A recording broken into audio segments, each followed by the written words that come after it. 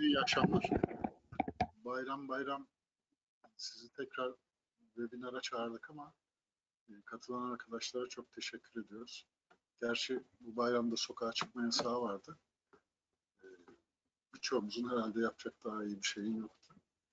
E, Bu vesileyle hepinizin bayramı kutlu olsun. Bayramın son günü gerçi ama kutlamış olalım. Bu arada Ses tamam, ses güzelmiş. Ee, sabah gruba yazmıştım. Bugünkü e, ana konumuz, daha doğrusu üç konumuz var. Birincisi e, piyasalarda belirgin bir düzelme var. Dün e, Amerika tatildi. Amerika tatili olunca çok ciddi hareketler olmuyor tabii. E, Amerika seansına gelmeden Avrupa seansı bile durgun oluyor. Birçoğu herhalde Amerika ne yapar, Amerika seansında ne olur diye e, düşünerek, onu kestirmeye çalışarak işlem yapıyor galiba. Çok uzun zamandır bu böyle. E, özellikle bugün hareketlenen piyasalarda sadece borsalar değil, euro dolar ve sterlin dolar pariteleri, major pariteler de dolara karşı bir miktar değer kazandılar.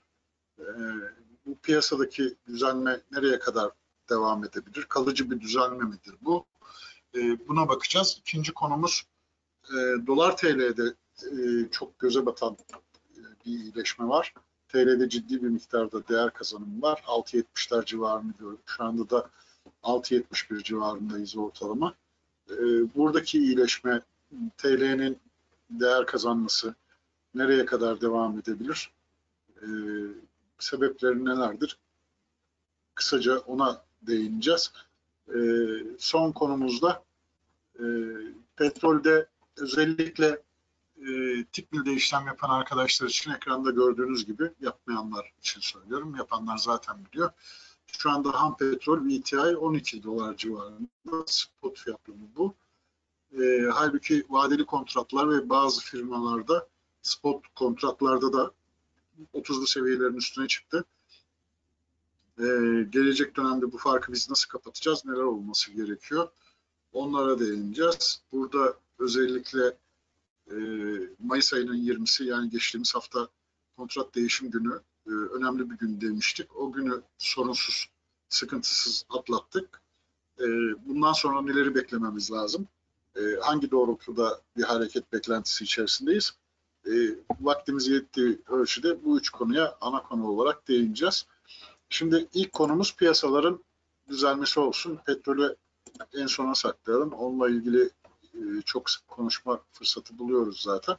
Bu arada hatırlatmış olayım. Sadece bu konular dahilinde değil, aklınıza takılan başka bir konu da varsa e, onunla ilgili sorularınızı şimdiden yazabilirsiniz.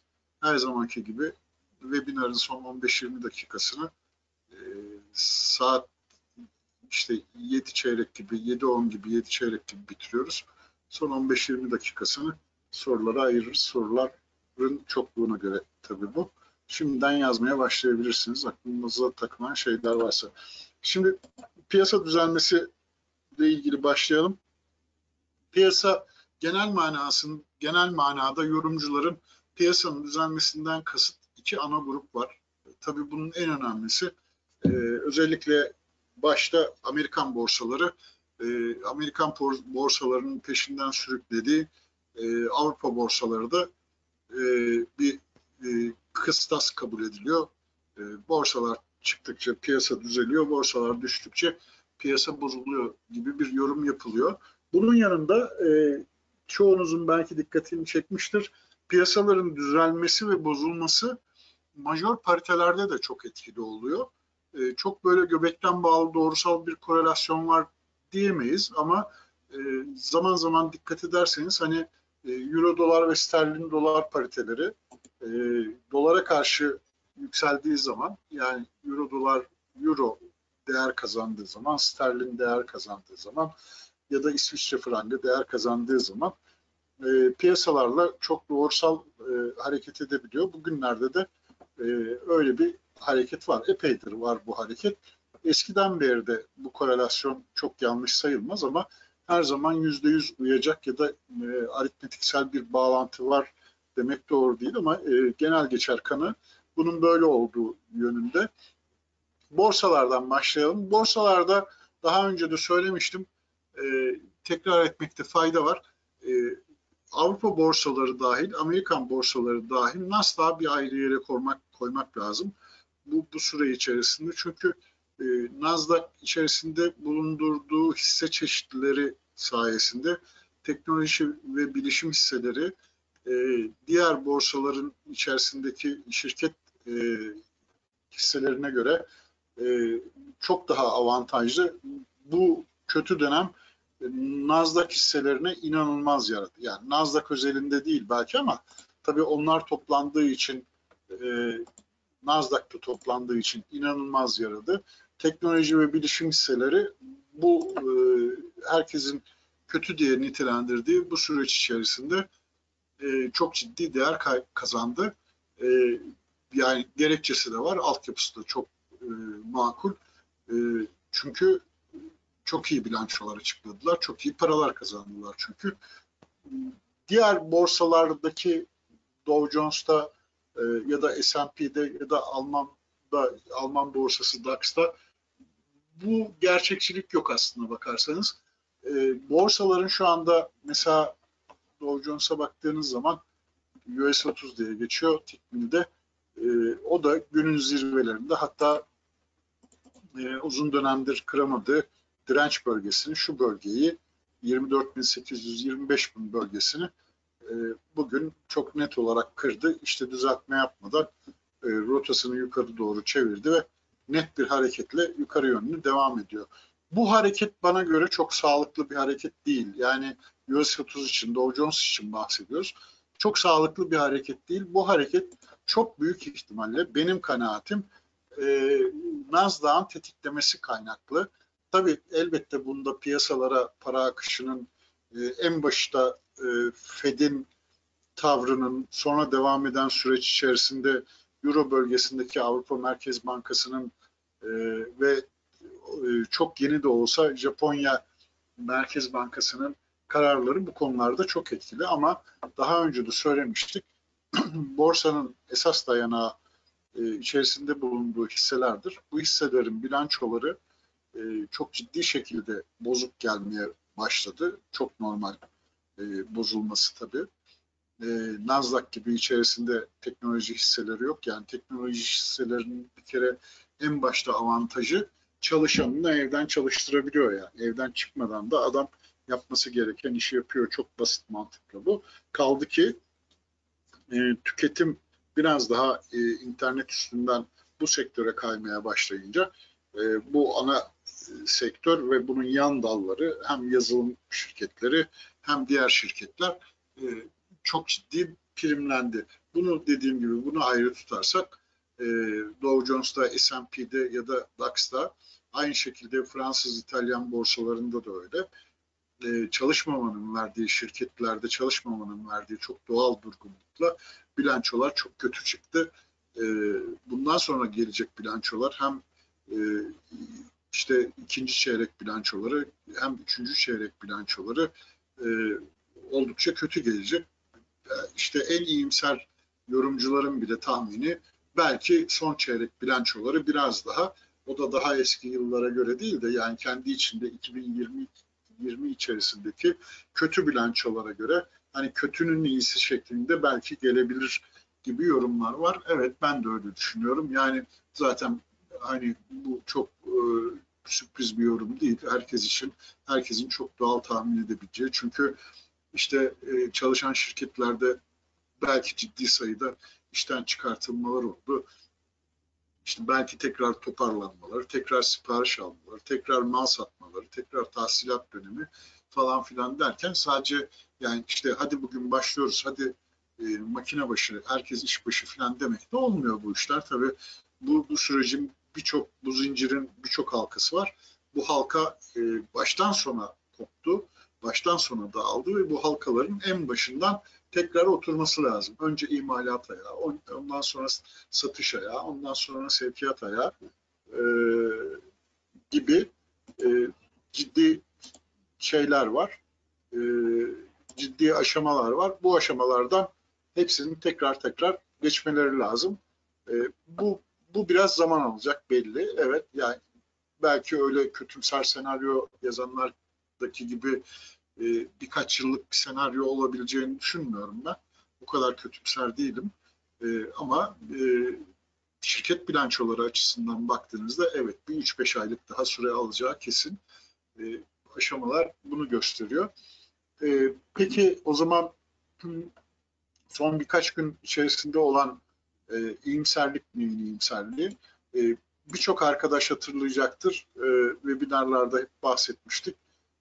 Yine söylüyorum, Nasdaq'ı ayrı tutarak söylersek, işte Dow Jones'ta belli bir makas aralığı var, bir bant aralığı var. Biraz geniş bant hareketi yapması çok doğal demiştik. Ben buna rağmen e, piyasa ne kadar iyimsere dönerse dönsün şu şartlarda bu bilançolar düzelmeden, iş durumu düzelmeden, satış zinciri tekrar, e, satış ve tedarik zinciri tekrar eskisi gibi rayına oturmadan hiçbir şey yokmuş gibi davranabileceğini borsaların e, ve tekrar eski coşkulu günlerine geri dönebileceğini düşünüyorum. Evet e, bir iyimserlik hakim ama bu iyimserlik daha çok yani kötümserlik de öyle. Kötümserlik durumunda da ben aşağıda e, bu eski diplerin filan kırılıp çok daha aşağıya, çok daha vahim e, yerlere gidebileceğini düşünmüyorum. Hani kabaca e, söylemek gerekirse hani bu matematiksel bir şey değil. İşte çok net yukarıda güçlü direnç olan bölgeler burasını 2727 bin bölgesi. İşte aşağıda da e, şu bölgeler 20.700 bölgesi, 20.700, 20.800 bölgeli. Yani şu geniş bant aralığında hareket etmesi yukarı ya da aşağıya hiç sebepsiz olabilir. Mesela bugünkü hareketlerin çok net bir sebebi yok açıkçası. Geçen hafta e, satış yediği günler ne günlermiş bakalım. Çarşamba günüydü herhalde. E, ayın 13'ü 14'ü yani 12 gün önce e, ciddi bir satış yiyerek 22.750 civarını görmüş. E, o günden bugüne ne değişti? Yani FED o günde e, ciddi şekilde destek olacağını o günde söylemişti. Bugün de ilave bir şey eklemedi. E, Euro bölgesinde o günde 750 milyar euroluk yardım paketi gündemdeydi. Bugün de onun üstüne ilave bir e, rakam koymadılar. Arada tek var. Japonya'nın e, hatırlarsınız Japonya'nın net çıkışı oldu bu zamanlarda. Hem e, kur açısından e, hem de borsalara ve şirketlere olan destekler açısından e, bir takım e, şeyler, e, söylemleri oldu Japonya'nın. Ama bunlar bilinen şeylerdi zaten. Yani e, Japonya'nın Euro bölgesinden ya da Amerika'dan geri kalmayacağını, hani ekonomik yeterliliği e, oldukça güçlü bir ülke olduğuna göre göstere göstere kendi şirketlerini batırmayacağı zaten çok netti. E, bu doğrultuda da e, zaten e, önceden de söylenen şeyler vardı söylem olarak ama netleştirdi ve son geçen hafta içerisindeydi yanlış hatırlamıyorsam geçen hafta içerisinde de net olarak rakamlar verdi. 200 işte bilmem ne kadar e, milyar yen e, bunun dolar karşılığı yanlış hatırlamıyorsam 270-275 milyar dolar karşılığı e, bir güçlendirme paketi, müdahale paketi açıkladılar.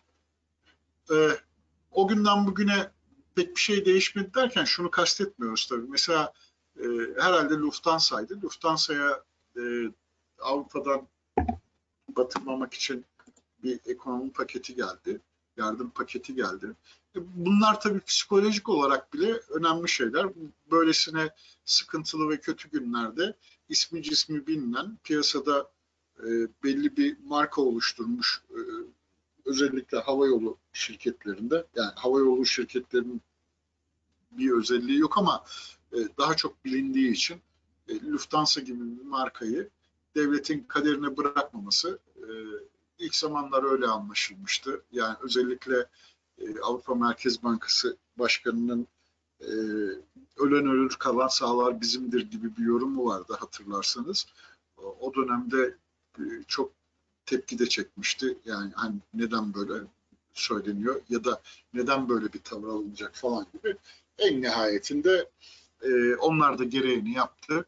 E, ülke için stratejik e, konularda bölge için hatta stratejik konularda hava yolu şirketleri, stratejik şirketler kabul edilebilir. Hatta başında kabul edilebilir stratejik şirketlerin.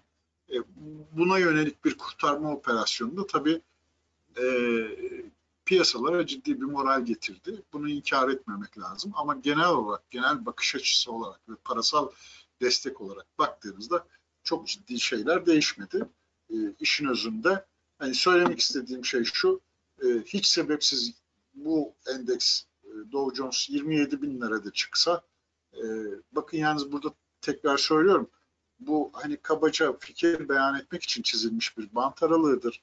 Yoksa 27 binin üstüne çıkıp da 27 bin 50 olmaz manasında değil. Hani ben ağırlıkta bu bölgede e, ciddi bir süre en azından bu senenin sonlarına kadar ciddi bir süre bu bant aralığında dolaşacağını düşünüyorum. Çünkü bu kadar yıpranmış hem psikolojik olarak hem e, yatırım psikolojisi açısından hem de e, bilançolar açısından, şirket karlılığı açısından bu kadar yıpranmış bir e, dönemde şirketlerin e, eski zirveleri tekrar zorlamasının çok saçma olacağını düşünüyorum. Bunu sanıyorum düşünen sadece ben değilimdir zaten.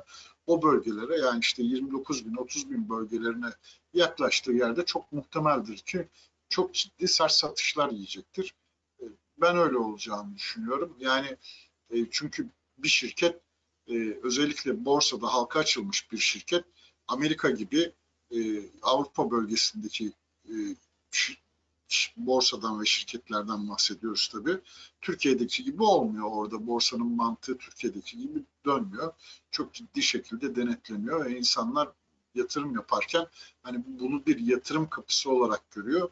Zengin olma kapısı olarak görmüyor. Ee, yani orada mantalite de farklı, denetleme şekli de çok farklı. Maalesef bizim ülkemizde çok öyle ilerlemiyor işler. Ee, o bölgelerde iş daha derli toplu ilerlediği için e, bu, bu mantaliteyi sadece biz değil birçok yatırımcı kuracaktır. Yani yukarıdan sat aşağıdan al mantığı bence burada e, uzun bir süre daha en azından dediğim gibi bu yıl sonuna kadar devam edecek. Yıl sonundan sonra ne kadar daha devam eder? İşte o yıl sonundaki toparlanmayla ilgili, gelen bilançolardaki e, eğer olacaksa düzeltmelerle ilgili, düzelmelerle ilgili, bilançoların iyileşmesiyle ilgili bu rakamlar görüldükçe belki bu bant yukarı yönlü kırılabilir.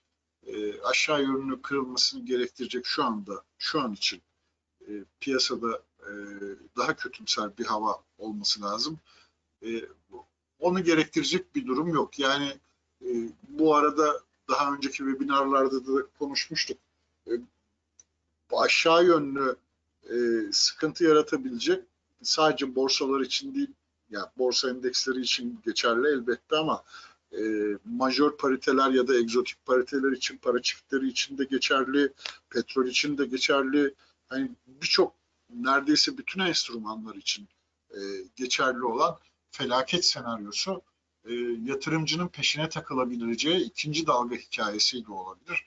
E, onun gündeme geleceğini ben açıkçası şahsi olarak düşünmüyorum. E, en başında da söylemiştik mevzumuz o değil ama hani yani ben bu virüs hikayesinin abartıldığı kadar büyük olacağını da düşünmüyorum. Yani olması gereken bir e, şey değildi. Çok ciddi şekilde abartıldığını düşünüyorum açıkçası. E, ama yatırımcı bir fikre inandığı zaman sizin fikrinizden ziyade yatırımcının nasıl tavır aldığı çok daha önemli. E, yatırımcı satış yönünde tavır alınca piyasalarda bozuldu. İkinci dalga senaryosu gündeme gelir mi? Ben ihtimal vermiyorum açıkçası. E, hani e, bu işte tıbbi otoritelere baktığınız zaman e, orada bir zihinsel bir çelişki var. E, fikir çelişkileri var. Kimisi olabilir diyor. Şu şu şu şartlara bağlı diyor ama e, genel geçer yorumlara baktığınız zaman e, pek ihtimal verildiğini görmüyoruz. Şu anda da gündemde öyle bir şey olmadığına göre e, şu an için e, benim fikrim bu bant aralığını çok fazla aşağıya kırmasını gerektirecek bir durum yok. Kırılacaksa bu bant yukarı yönlü kırılabilir ama o da e, belki işte e, çok iyi bilançoların e, ileride gelebileceğine ilişkin bir takım fikirler oluşmaya başlarsa e, hani e, şey beklenti alınır e, muhabbetiyle o zaman yukarı yönlü bir kırılma belki hükümet tarafından da işte Trump gibi çok ciddi destek veren e, Trump değişir mi değişmez mi o belli değil ama değişirse bile yerine gelecek kişi de Trump tavrında bir harekette bulunabilir belki. E, o dönemlerde yukarı yönlü kırılması yukarı bandın üstünün zorlanması düşünülebilir ama e, onun dışında bu tür ekstra gelişmeler dışında dediğim gibi ben bu geniş bant aralığında 20 bin ile 27 bin işte 20 bin 500 de denilebilir. 20 bin 500 ile 27 bin arasında e, çok uzun e, bir en azından bir 5-6 aylık bir dönem en az bu kadar bir dönem geçireceğimizi düşünüyoruz. E, ilerleyen günlerde bunun ne olacağını ne yönde hareket edeceğini göreceğiz. Diğer borsalar için de bu şekilde bir bant işte eski zirvenin e, altında hepsinde zaten grafik 3 aşağı 5 yukarı birbirine çok benziyor. Aşağıda da eski dibin biraz üstünde oluşturduğu destek eski zirvenin biraz altında oluşturduğu direnç bölgesinin aralığında olacağını düşünmek çok da yanlış olmaz. Bakalım burada DAX varsa mesela DAX'ta da böyle kabaca bir şey çizmek gerekirse işte şu bölge olabilir. Burası neresi? 13.000 bölgesi. Şu bölge. 11.500'lerdeymişiz. DAX'ta. Hatta bir ara şunu da çizmişiz. Bu da olabilir. Bu da çok makul bir seviye. 12.500-13.000 aralığıyla işte aşağıda da 8.900, 9.000 hatta buraya bile inmez. Şuralar 9.200, 9.300 aralığı denilebilir. Yani şu üstte tereddütlü olabilir bandın üst bölgesi 12.500 ya da 13.000 civarı üst bandın üst çizgisi olabilir. Aşağıda da e, 9300 bölgesi bana göre makul bir bant aralığı oluşturmak için e, yeterli bir genişliktir. Bu bu aralıkta DAX'ın seyretmesi de e, ilerleyen günlerde bana göre sürpriz olmayacaktır arkadaşlar.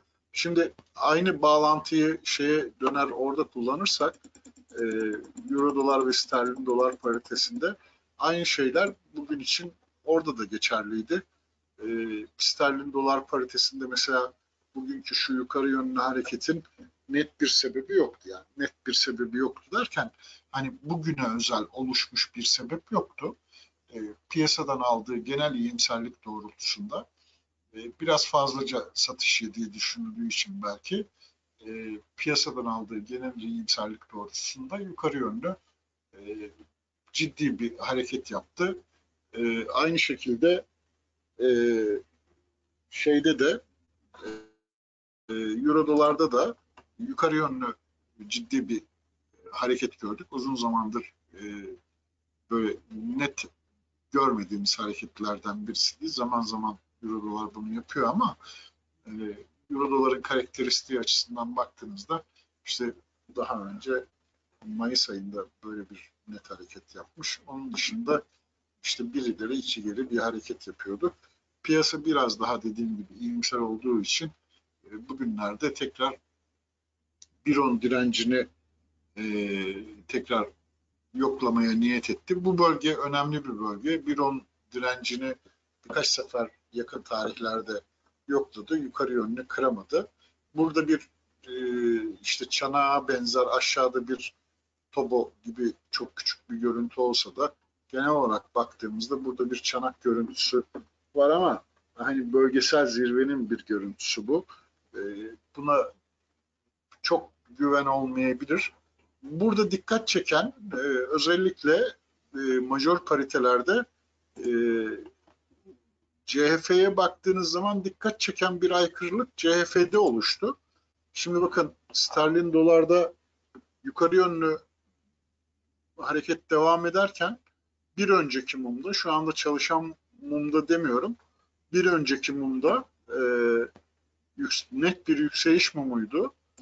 E, aynı şekilde onun kadar sert ve uzun bir yükseliş mumu olması, olmamasına rağmen Euro dolarda yukarı yönlü bir yükseliş mumu bıraktı.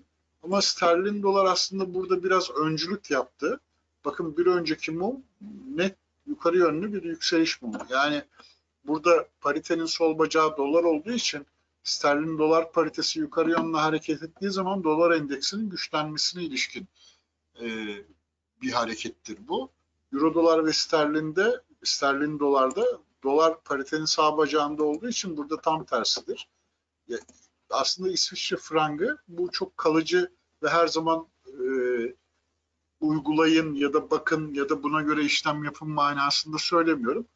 Bir önceki mum da aslında işin şeyini verdi. Hani yeter bu kadar yükseldiği paritelerin. Bundan sonra biraz dolar endeksinin kısmi bir düzeltmeye ihtiyacı var gibi bir mum bıraktı. Peşinden e, euro dolar ve sterlin dolarda da aşağı yönlü bir hareket görüldü bu mumda. Bu evet bu bir düzeltme işareti.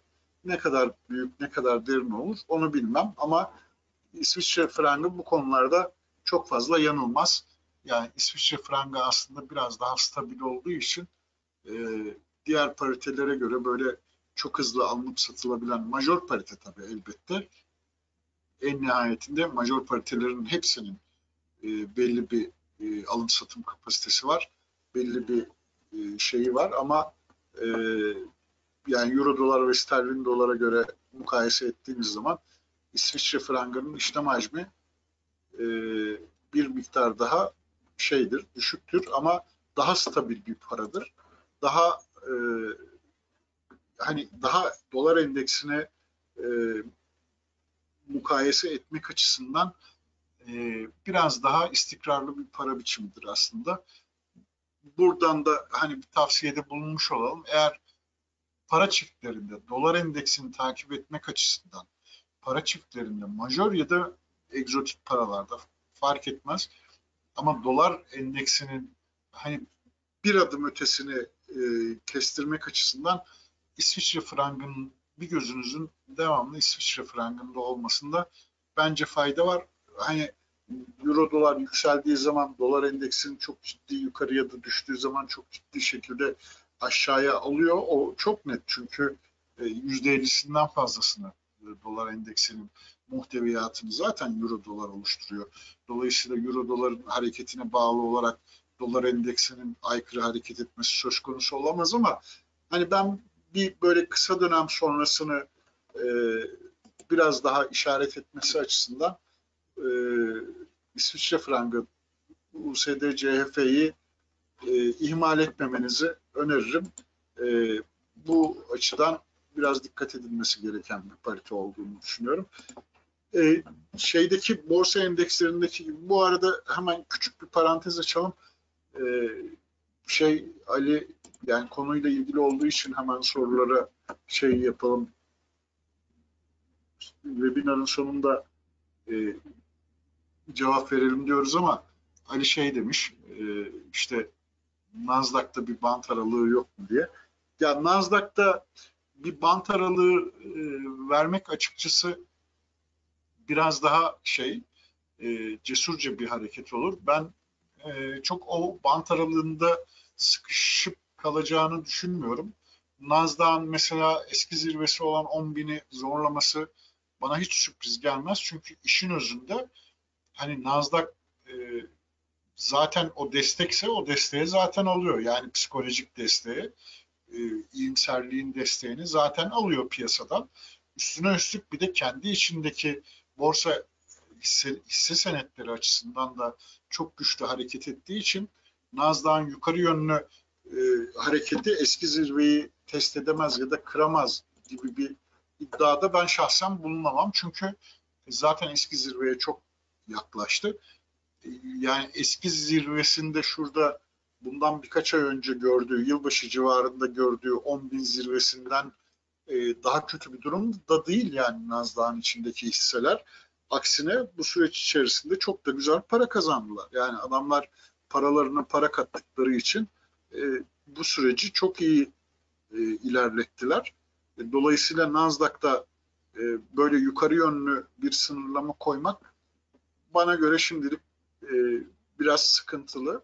E, hani yukarıdan sat aşağıdan al mantığı Nasdaq'ta biraz daha riskli olabilir. E, o mantık eğer işleyecekse o doğrultuda işlem yapılması düşünülüyorsa bakın bu söylediklerimin hiçbirisi işlem tavsiyesi asla değildir. Ben borsa endekslerinde işlem yapmam mesela. Yani hani yapmam derken bu dönemlerde yapmıyorum en azından ama mutlaka borsa endekslerinde yapılıyorsa Nasdaq bu açıdan biraz daha riskli görünüyor bana göre. E, çünkü yukarıda koyabileceğiniz işte şurayı geçemez diyebileceğiniz bir sınır bence şimdilik Nasdaq için çok kolay değil. Evet eski zirve 10 bin zirvesi çok önemli bir direnç olarak mutlaka çalışacaktır ama hisse yapısını, hisse karlılıklarını, piyasanın iyimserliğini düşündüğünüz zaman orada arkanızı 10 bine yaslamak e, çok kolay değil. Yani e, bana göre çok güvenilir bir bölge değil 10 bin bölgesi. Ha belki çok daha aşağı sert hareketler yapabilir. Yani yapmaz manasında devamlı yukarıya primlenir manasında söylemiyorum ama Nasdaq'ta yukarısı şurası, aşağısı burası diyebileceğiniz e, bir bölgeyi kestirmek biraz daha zor, biraz daha sıkıntılı olabilir ama e, Dow Jones ve DAX için e, bu bu biraz daha kolay bence. E, hani e, çünkü eski zirveyi zorlamasını gerektirecek bir durum yok yani şu anda. Evet çok ciddi destekler var ama e, hisselerde çok ciddi hisse endeks içindeki şirketlerde çok ciddi kan, kan kaybetti. Bunu da unutmamak lazım. Onu bilmiyorum yani 9250'den sonra satış var zaten. Onu bilmem yani bu sizin tercihiniz ama Nasdaq ben işlem yapmıyorum tekrar söylüyorum ama işlem yapıyor olsaydım e, bugünlerde tercih edeceğim endeks Nasdaq olmazdı. Onu söyleyebilirim. Sebebi de dediğim gibi yukarıda ve aşağıda e, dayanacağınız yerler biraz daha sıkıntılı. Bugün Nasdaq biraz enteresan hareket etti diğer endekslere göre. E, özellikle öğleden sonra hani doğuda bile devamlı alış alış alış yönünde çok böyle uçuk kaçık bir yukarı yönlü grafik olmasa bile ciddi prim yaparken Nasdaq öğleden sonra e, bu Amerika açılışı değil sanıyorum değil mi? Tabii tabii yok. Bildiğiniz öğleden sonra Avrupa seansından itibaren aşağı yönlü bir hareket yapmış. Nasdaq'ta söyleyebileceğimiz tek şey şu. Bana göre e, bu 4 saatlik grafikte çok net bir trend oluşturdu. Aşağıda 9100 e, tam 9100 9150 civarı e, hani şu an için olsa trend çizgisi buralardan geçiyor. Bunu çizebilirsiniz. Benim dediğim gibi şeyin e, webinarın kontrol şeyi var ekranın sağ tarafında. 9100-9150 civarında e, trend çizgisi geçiyor. Bu trend çizgisinin aşağıya kırılması şimdilik sanki biraz zormuş gibi görünüyor. E, belki burası çok iyi bir destek olarak çalışabilir. Çok muhtemel ki bu e, bugünkü satışta e, bir kar realizasyonu şeklinde gelen bir satış yoksa Nasdaq'ın e, diğer borsalar yükselirken Nasdaq'ın müstakil olarak e, aşağı yönlü bir hareket yapması çok mantıklı bir görüntü değil. Çok büyük ihtimalle dediğim gibi eski zirveye yaklaşmasının verdiği bir kar realizasyonu olabilir. 9100 9000'li seviye yani işte bir 300 400 500 puan daha aşağı yönlü bir realizasyona devam edebilir ama e, diğer borsalara göre dediğim gibi içeriği daha güçlü olduğu için e, bu trend çizgisinin kırılması biraz zor. Kırılırsa da o zaman e, diğer başta diğer borsalar olmak üzere dikkat etmek lazım. E, hani bazı yabancı yorum yorumcuların yerli yorumculardan da var aslında buna benzer yorumlar yapan yerli analistlerden de var. İkinci dip, ikinci dip denilen şey eğer Nasdaq bu 9100 bölgesini kırarsa o bahsedilen ikinci dip e, o zaman gelebilir. O dibin eski dibe göre daha sert ve daha aşağıda olacağını düşünenlerden değilim ben ama e, sert satışlar gelebilir. E, bugünlerde piyasa e, biraz daha böyle sürü, sürü psikolojisiyle hadi satalım satalım, hadi alalım alalım şeklinde ilerliyor. Bir atraksiyondur. Yani terslik aldığınız zaman çok ciddi e, bir ters şeyde ciddi bir ekran zararında yakalanabilirsiniz. Buna dikkat etmekte fayda var. Bence böyle. E, petrol biraz geri yapmış bu arada. E, o ona geleceğiz. Ona şimdi girmeyelim. E, bu piyasanın iyimserliği konusunda söyleyeceklerimiz şimdilik bu kadar arkadaşlar. E, dediğim gibi belli bir bant hareketi yapıyor. Bu bant hareketinin dışına çıkmasını gerektirecek borsalarında e, aynı zamanda bence şeyin de majör pariteler için de öyle. Onu atlamayalım bu mevzuyu bitmeden. Özellikle euro dolar için söyleyelim. Euro dolarda şu anda bulunduğu bölge 1.10 bölgesi önemli bir direnç bölgesi. E, bu bölgenin üstünde 1.10-1.50 e, bölgesi trend kırılımının herhalde olduğu bölgeler olması lazım. Bir bakalım. E, yok 1.11, 1.11. Evet. Yani 1.11, 1.11.50 bölgesi de önemli bir bölge ama 1.10 bölgesi çok güçlü bir bölge. Defalarca özellikle son zamanlarda aşağı inerken de önemli bir destek olarak çalıştı. Zaten psikolojik olarak e, iyi çalışabileceği tahmin edilen bir bölge. Yukarı yönlü de e, defalarca test etti. Son zamanlarda bu bölge kırılmadı. E, bugün yarın kırılır mı kırılmaz mı bunu takip ederiz. Yukarıda en az 1.10 kadar önemli bir başka bölge 1.14.50 bölgesi var. E, majör trendin geçtiği bir bölge. O bölge yukarı yönlü kırılırsa ki ben çok olası görmüyorum. En azından bugünler için. E, hani yakın gelecek için de. Birkaç ay içerisinde çok ekstra bir gelişme olmadıkça 1.10 kırılsa bile 1.14.50 yukarıya oldukça zor aşılabilir bir bölge. E, bana çok e, gerekçesi şu an için e, gerekçesi yerine gelmiş gibi görünmüyor. E, ama ola ki orası da kırılırsa e, 1.17 bölgesi haftalık grafikte e, majör düşüş kanalının düşüş trendinin olduğu şu kırmızı çizgi bunun çok uzun zamandır bahsettiğimiz bir çizgi. Bu bölge e, Euro dolar için son bölgedir. Yukarı yönlü son bölgedir.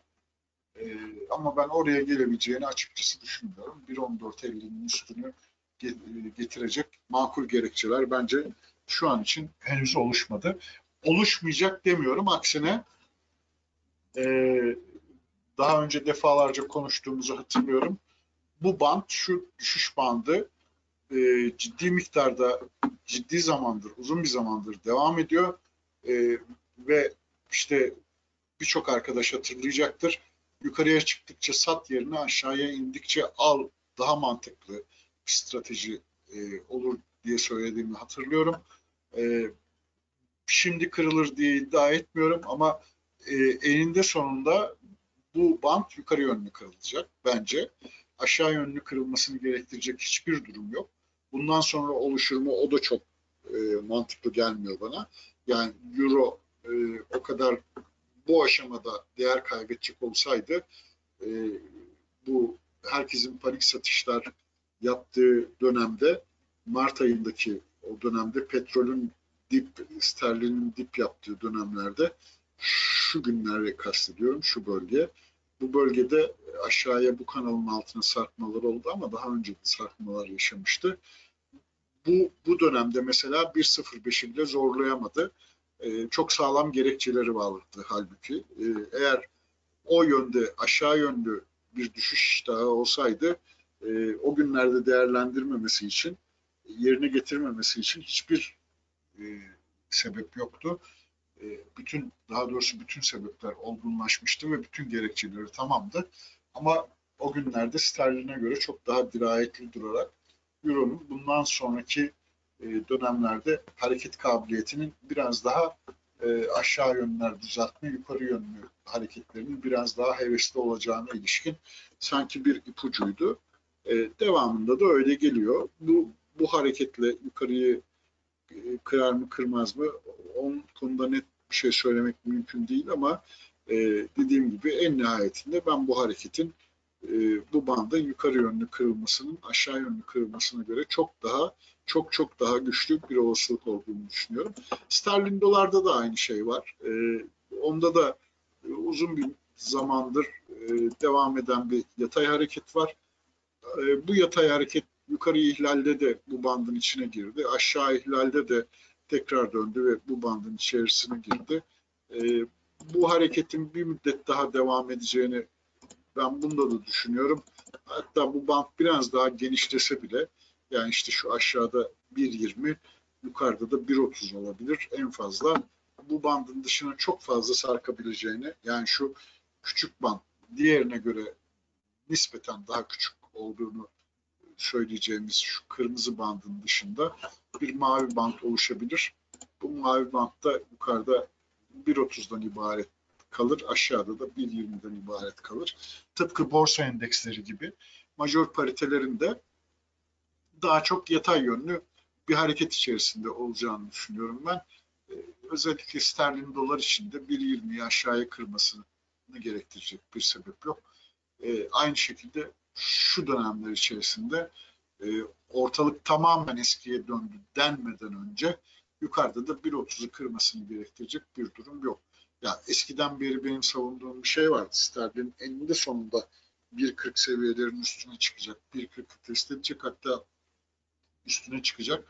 Olması gereken e, seviyeler, hak ettiği seviyeler bu seviyeler değil. Daha yukarıdaki seviyeler için çok hevesli olduğunu düşünüyorum demiştim. E, o 1.42 bölgesini geçen sene bir sefer gördü sonra tekrar aşağı indi ama e, tabii rüzgar o günden bugüne çok ciddi şekilde değişti. Şu an içinde bulunduğumuz şartlarla 1.40'a çok hevesli bir şekilde gitmesini beklemek fazla iyimserlik olur. E, en nihayetinde yine de gideceğini düşünüyorum ama e, o gün bugün değil sanki. E, piyasanın biraz bu e, hem psikolojik e, satış korkusunu e, hem de haklı gerekçeleri e, biraz daha e, elimine etmesi lazım. Daha normalleşmemiz lazım. Ondan sonra daha farklı şeyler konuşabiliriz ama e, tıpkı borsa endekslerindeki gibi sterlin doların belki borsa endeksleri kadar uzun bir süre olmayabilir ama e, en azından bir, birkaç ay daha e, bu aşağıda 1.20 yukarıda 1.30 bandını çok fazla ihlal edebileceğini düşünmüyorum. Bunları da bu şekilde söylemiş olalım ve dolar TL'ye geçelim. Dolar TL hatırlayacağınız gibi e, bir müddet bir zamandır aşağı yönlü hareketini devam ediyor. E, bu yurt dışındaki 3 bankaya getirilen e, yasağın olduğu gündü. O günden itibaren o gün 7.25-7.26 seviyelerini görmüştü. Zirvesi orasıydı. Ee, eski zirveyi geçmişti aslında. 7.20 zirvesini geçmişti ya da en azından test etti diyelim. O günlerle ilgili grafiksel bazı sıkıntılar var çünkü.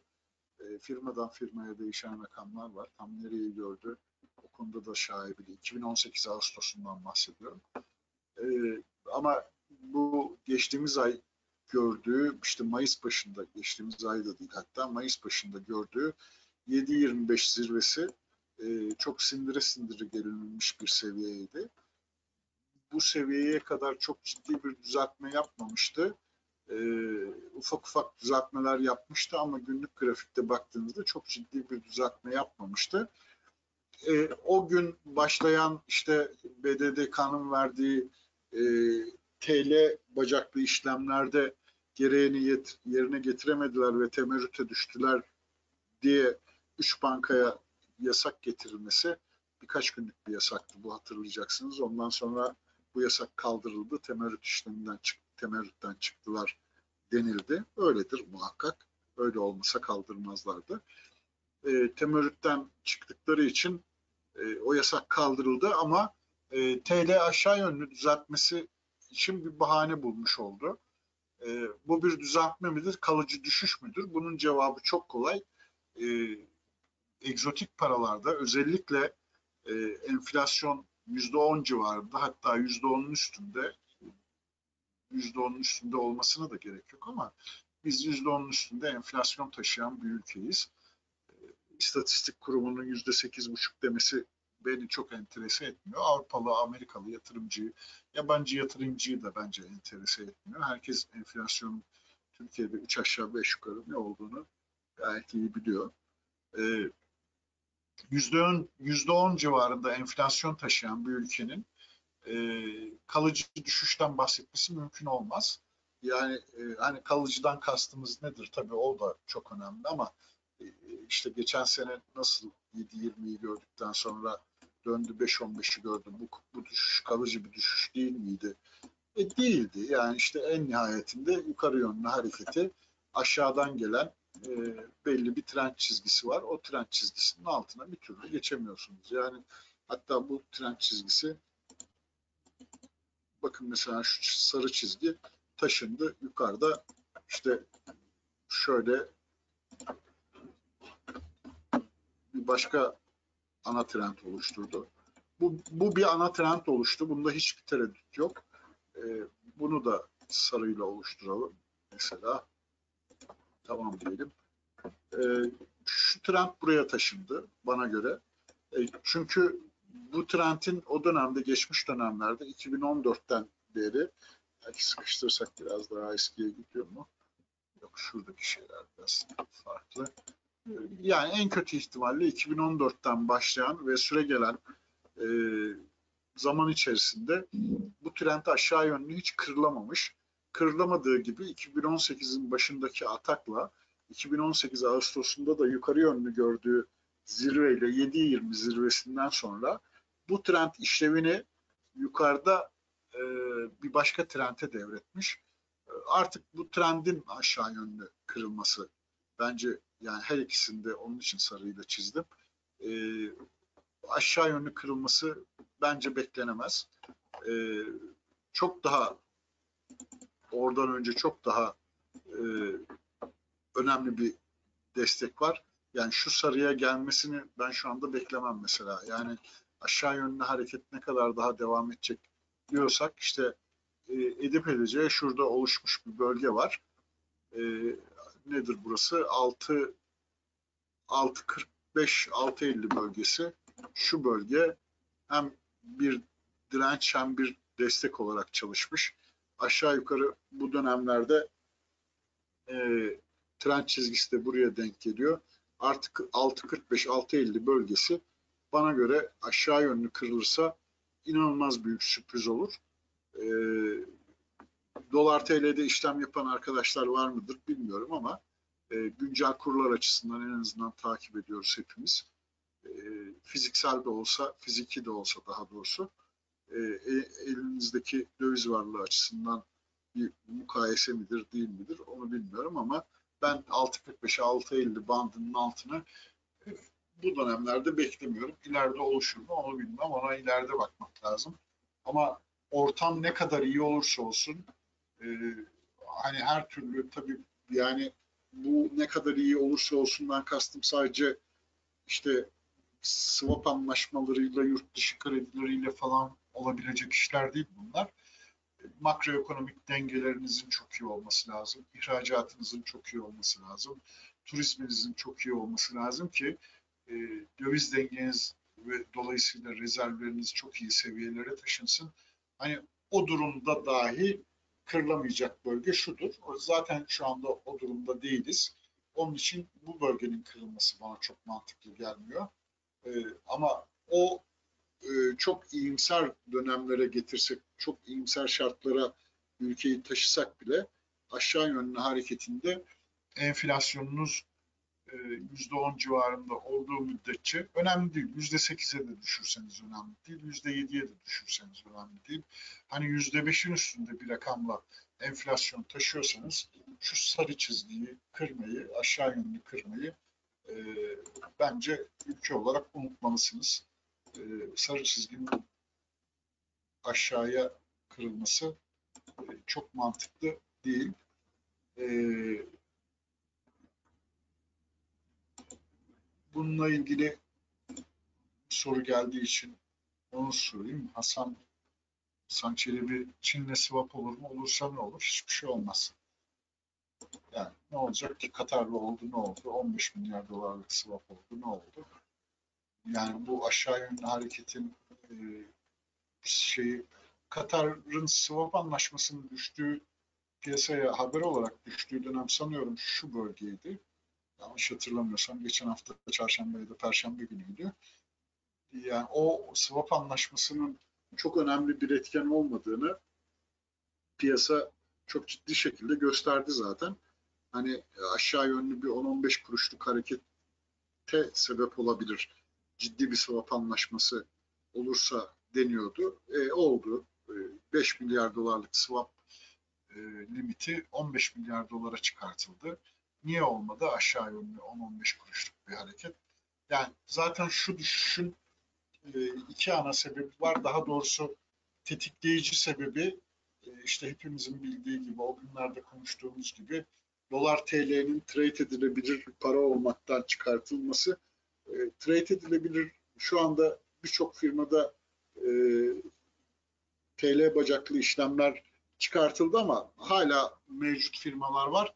Önemli değil. Mesele burada şu, e, yatırımcıyı tedirgin etme meselesi. Yani dolar TL'de işlem açarsam yarın öbür gün kapatmak işte terste kaldığım zaman kapatmak zorunda kalabilir miyim? İşte şöyle olabilir mi, böyle olabilir mi? Yarın bir başka e, oyun içerisinde oyun devam ederken e, kurallar değişir mi? Hani dolar TL açısından söylüyorum.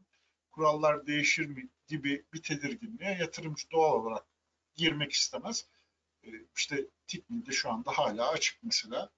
E, dolar TL işlemi yapabilirsiniz. Birçok aracı kurumda da böyledir.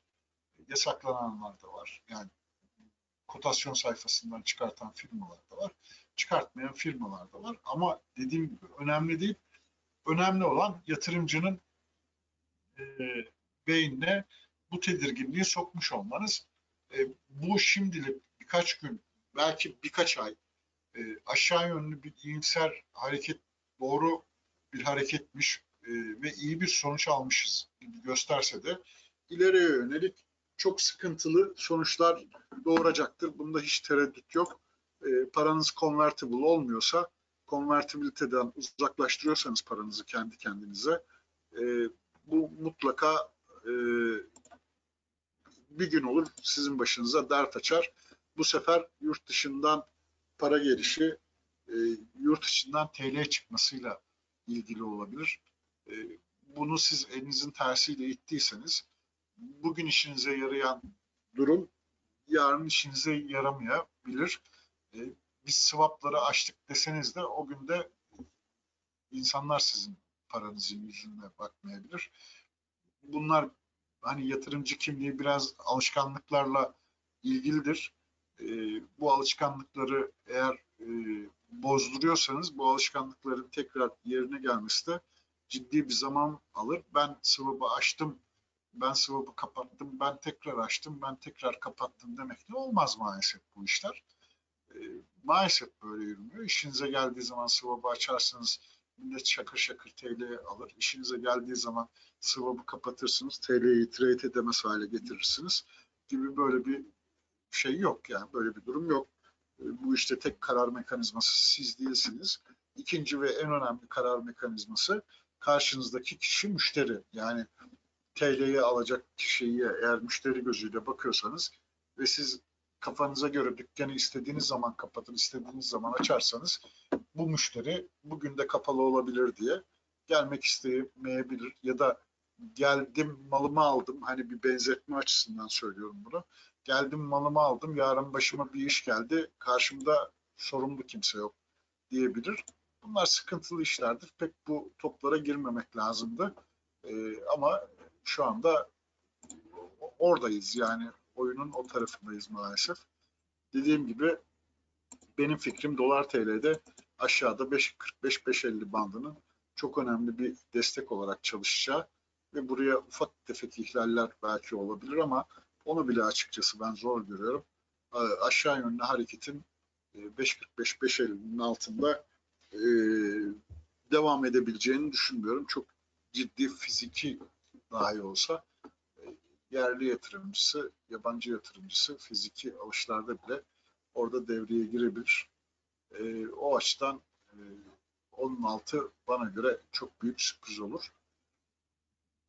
Evet, gelelim VTI'ye. Bu arada zaten bir taraftan da sorulara konunun gereği olarak cevap verdiğimiz için e, sorular da çoğunu cevaplamış olduk. E, VTI'ye gelelim. VTI'deki en büyük sıkıntılardan birisi arkadaşlar e, petrol genel olarak yükseliş eğilimine girdi. Onda bir tereddüt yok. E, Her geçen gün ufak tefek üstüne prim yapıyor ama e, Tikmil'in çalıştığı yani Tikmil'in çalıştığı fiyat sağlayıcıyla çalışan başka birkaç firma daha var. E, bizim gibi e, diğer firmalar 30'lu seviyelerin üstünde olmasına rağmen e, bizim en iyi gördüğümüz rakam işte e, bugün gördüğümüz 12.27 12 civarı diyelim yuvarlak olarak. Niye 12 civarına saplanıp kaldık? Bunun sebebini söylemiştik daha önce.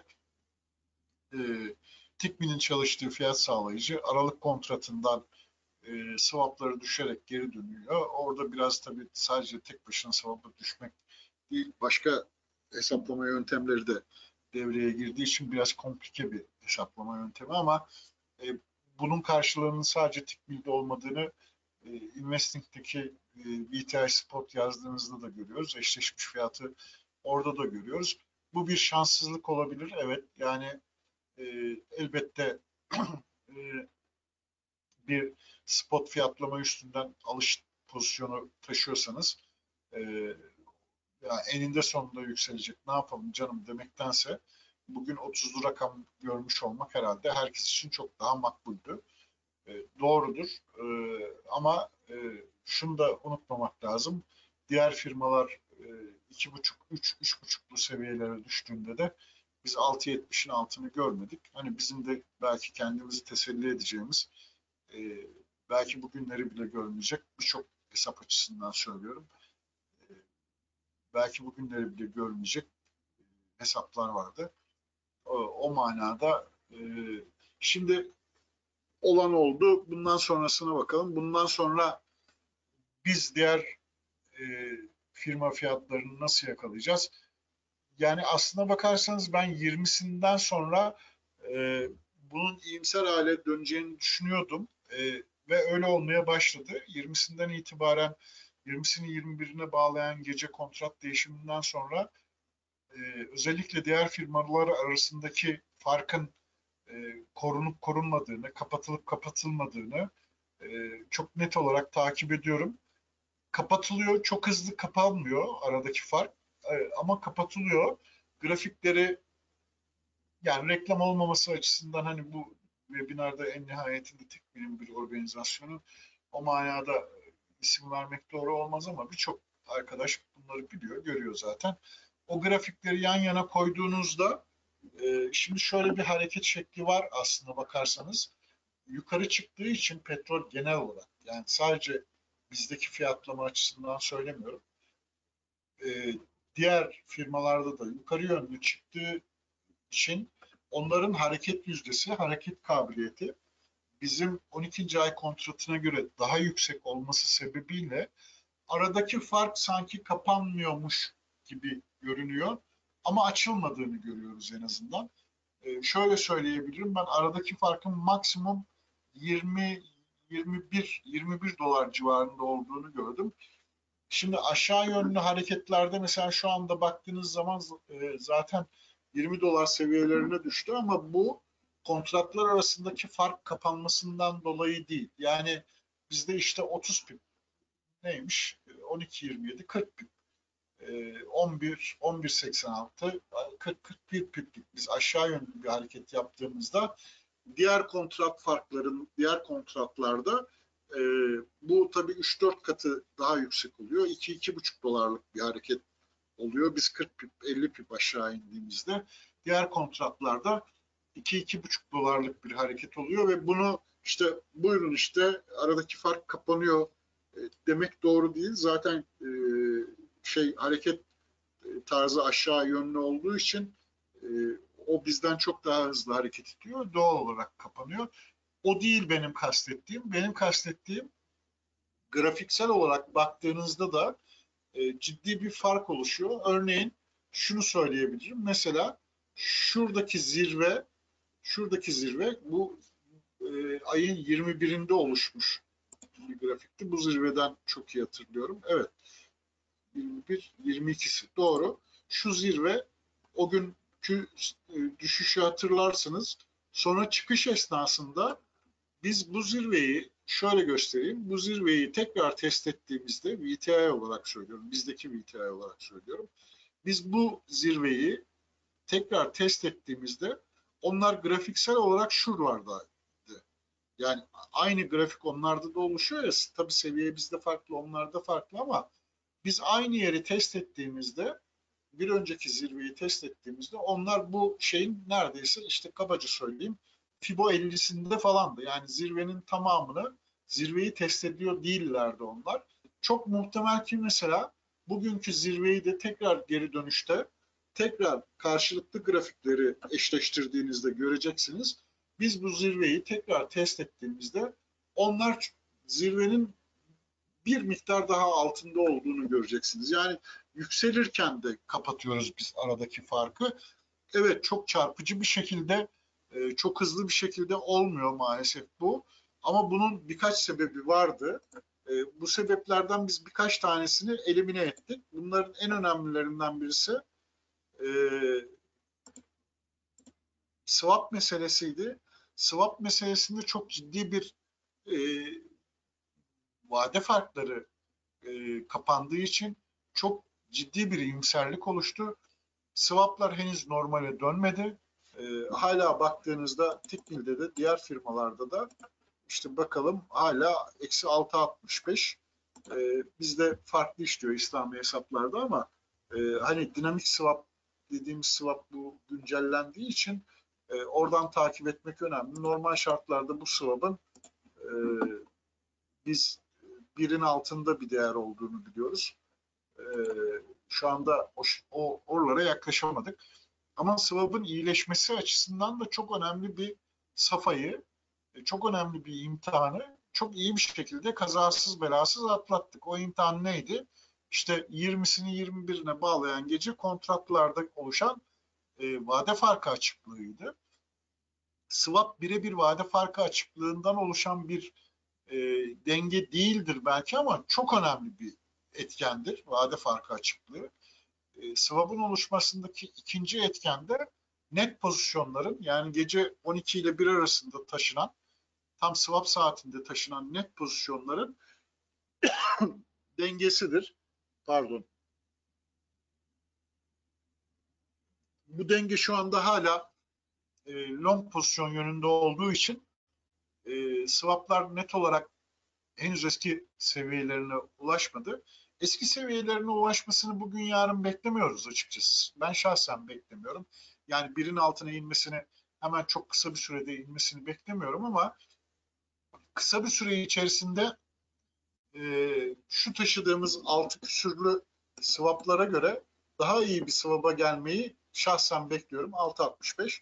E, her gün e, 6.65 e, şey 6 pip 6.5 pip diyelim yaklaşık. Biz öyle değil ama e, İslami olmayan hesaplar için öyle söylüyoruz. E, neden buradan takip ediyoruz? Çünkü İslami hesabın swap'ı zaten sabit. 6.65 e, şimdi yavaş yavaş altını aşağıya doğru indiğini, daha iyimser hale geldiğini göreceğiz. E, bu sadece bizde böyle değil. Diğer firmalara baktığınız zaman da orada da e, belki 0.25-0.50 maksimum 1 puan. E, ama e, Tikmil'e göre 3 aşağı 5 yukarı aynı seviyelerde swapları görüyoruz. Diğer firmalarda da bu geçerli. Onlarda da henüz e, işte bundan 6 ay önceki ya da bir sene önceki e, standart alıştığımız bildiğimiz swaplara henüz gelinmedi. E, onlar da düzeldiği zaman e, ben bu ay içerisinde işi uzatmayayım, e, konuyu uzatmayayım. Bu ay içerisinde e, ciddi yol kat edeceğimizi düşünüyorum. E, iyimser bir düşünce midir bilmiyorum ama e, swaplar çok hızlı bir şekilde e, makul yerlere gelirse belki bu ay ödediğimiz son swap ayı olabilir. E, bu hani bir şeyi ima etmek ya da garanti vermek için söylemiyorum. Benim ne öyle bir yetkim var e, ne de bir şey bildiğim için ben sadece şahsi tahminimi söylüyorum. İyi bir ay geçirilirse e, önümüzdeki ayın 20'sinde yani aydan kastım o kontrat değişimleri önümüzdeki ayın 20'sinde çok iyi bir kontrat değişimine e, sahne olursak e, orada e, belki fazla iyimser bir gelişme, fazla iyimser bir düşünce olabilir ama e, bu ayın son swap ayı olabileceğini ben şahsen düşünüyorum arkadaşlar. E, dediğim gibi şu anda hala hazırda e, aradaki farkı kapatıyoruz. Çok etkili ve çok hızlı değil. Ha bir diğer faktör de şu. E, aradaki farkı kapatmanın e, bir şekli de şu. Petrolde e, bu firmayla konuştum birkaç fiyat sağlayıcıdan da gelen haber böyle. E, petrolde işlem hacmi genel olarak petrolde işlem hacmi e, bu kriz döneminden önceki dönemlere göre çok ciddi şekilde düşmüş. Yani çok dramatik şekilde düşmüş. Ve bu işlem hacminin düşüklüğü esas firmaları korkutuyor. E, yani bu işlem hacmi düşükken e, iyimser olması e, fazla tedirginlik yaratıyor. İşlem hacmi yükseldiğinde acaba ne yönde olabilir, ne yönde oluşabilir bu işlem hacmi? E, bir ters hareketle tekrar eski sıkıntılı günlere dönebilir miyiz tedirginliği var. Bunun da yerine oturmasını bekliyorlar. Ayrıca aritmetiksel olarak bu aradaki farkın 12 dolarlardan 30'lu seviyelere e, hani önümüzdeki şey e, baraj orasıysa diğer kontratlara yaklaşmamızın en önemli şartlarından birisi de bu işlem hacminin yavaş yavaş yerine gelmesi. E, yani işlem yapıldıkça devamlı stabil duran, sabit duran bir seviyede onlar sabit dururken bizim ilerlememiz mümkün değil. Yani öyle bir şey yok. Bu sistemin içerisinde çarklar öyle dönmüyor. Yani çıkarken daha iyi, düşerken daha yavaş şekliyle bu fark kapatılabilir. Dolayısıyla bu tür atraksiyonlar, bu tür e, hareketler oldukça biz aradaki farkın e, daha da e, kapandığını göreceğiz. Yine şahsi bir fikir olarak söylüyorum bunu. E, bu buna dayanarak bir işlem yapmak zaten mümkün değil. Hani petrolde zaten şu anda işlem yapılması çok mümkün değil ama ben bu ay sonunda yani aydan kastım e, kontrat değişim dönemi yani Haziran 20'sine kadar biz vadeli e, bir aylık, iki aylık vadeyle çalışan firmalara göre e, biraz tedbirli söylüyordum. Ben onu 4-5 dolar diyordum ama ben 5 doların da üstünde e, bir fark kapanacağını düşünüyorum açıkçası. Tabii yükselirken aradaki fark açılıyor. Bunu da ihmal etmemek lazım ama şu anki koşullara göre e, petrolün sabit durduğunu düşünürsek e, hani bir, bir ileri iki geri şeklinde ilerlediğini düşünürsek biz 5 doların üstünde diğer firmalara göre bir avantaj yakalamamız gerekir. Matematik bunu gerektiriyor ama e, bunun yanında iki önemli unsurun da e, üstüne düşeni yapması lazım. Birincisi işlem hacmi, ikincisi e, swap meselesi.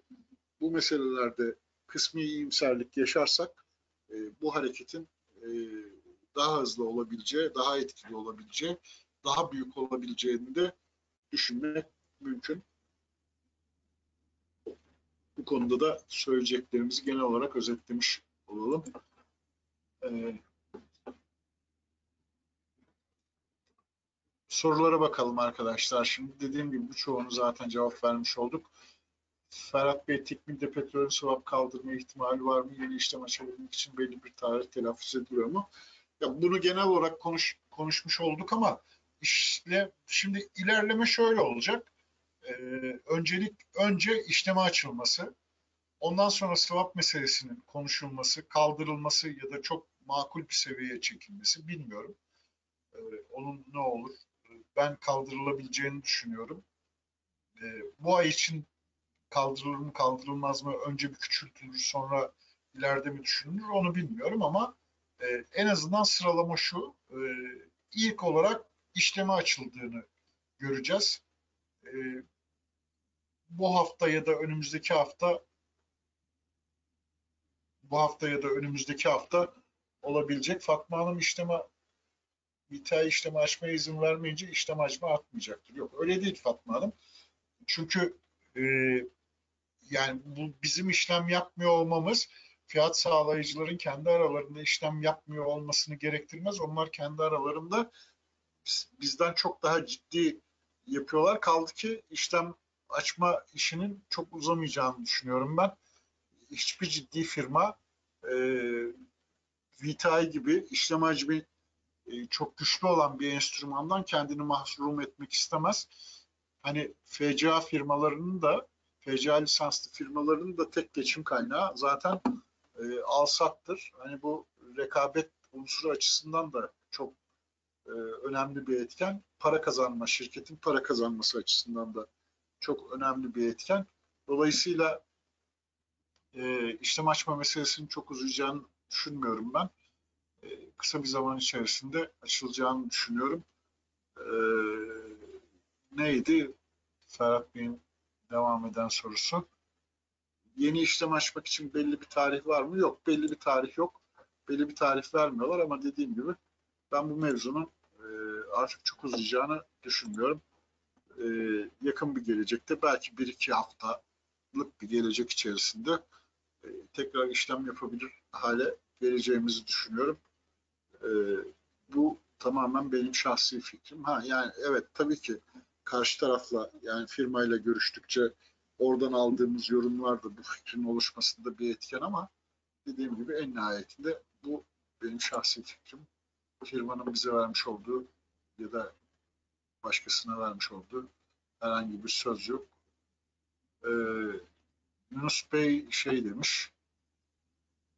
ONS'la ilgili yorumunuz var mı demiş. ONS'taki hareket çok net. Yani piyasa e, iyimserliğe döndükçe ONS e, aşağı yönlü hareketini bir miktar daha devam ettiriyor. Bundan sonra da böyle olacağını düşünüyorum ben. Piyasa satış, piyasa e, enstrümanları, borsa endeksleri ve major pariteler satış yemeye başladığında da bir miktar yukarı yönlü e, toparlama eğiliminde olacak gibi görünüyor. ONS için şeyler ama e, ONS'ta kalıcı daha doğrusu kilit yorum şu olabilir. E, daha önce de konuşmuştuk. Ben ONS'un asla ve asla böyle uçuk kaçık hedefler verilen 2500'lü, 2000'li belki yani 2000 ve üstü diyelim. Hani böyle çok daha uçuk e, hedefler ve tahminler yapan yorumcular var. Ben oraya asla gidebileceğini şahsen düşünmüyorum. Çünkü aynı euro dolardaki yorumun aynısını orada da yapmak mümkün. Eğer ons 2000'e gitmeye, 2500'e gitmeye hevesli olsaydı şu ana kadar elinde çok fazla imkan ve çok fazla silahı vardı. E, bunları kullanabilirdi. E, 2000'de, 2500'de görebilirdi. Bu şaşırtıcı olmazdı ama e, piyasanın kısmen e, o günden bugüne kısmen kısmen bile olsa düzeldiği günlerde onsun o günlerde görmediği, o günlerde 1750'nin üstüne çıkmadığını düşünürsek, üç aşağı beş yukarı kabaca konuşuyorum. O günlerde görmediği seviyeleri e, şimdi piyasanın daha sakin olduğu bu günlerde zorlamasını gerektirecek e, hiçbir şey yok bence. Dolayısıyla o e, o seviyeler e, çok gerçekçi seviyeler değil. Muhammed Şahin güvenli liman görevini altın getiriyor mu acaba? Yok öyle o, o da çok şey bir yorum olur. Yani e, hani çok marjinal yani güvenli liman yani yetmiyor mu 1700 Muhammed? Hani yeterince güvenli liman olduğunu ispatlamadı mı? 3000 dolar mı olması lazım? Bu ons bundan iki sene önce 1125'i gördü yani bunu da unutmayalım. Bakın hani ons grafiğini fiyat alışkanlığı farklı bir şeydir ama hatta 1050'yi gördü. Bundan iki sene önce de şu bölgede 1125'i gördü. Bu bölgede yine aynı bölgeler, yani aynı seviyeleri gördük. 1200'ün altında e, 2018'de gördük, 2016'da gördük, 2015'te gördük. 2015'te neredeyse 1000 seviyesini test ettik. Yani şimdi 1000 seviyesinden kalkıp gelip ya da 1200'lü seviyelerden gelen ve 1700 1750'yi gören bir onsa yok canım 2000'e gidemedi. Güvenli liman işi e, onsta bitti son buldu demek çok doğru değil. Doların hızlı yükselip altının 1400'leri gördüğü günleri düşününce bilemedim. Evet, yakındır canım. 600 bu bu piyasa altını tekrar size 1000 1400'de gösterir, 1300'de gösterir. Merak etmeyin. Piyasa bu kadar hareketli olduğu için biraz beklemek, biraz sabır yeterlidir bence.